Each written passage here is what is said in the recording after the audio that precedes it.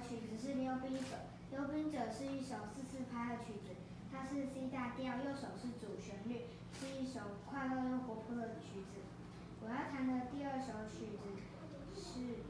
大钟大钟是一首雄伟的曲子是以三拍来演奏的最后的六度和弦是由强到弱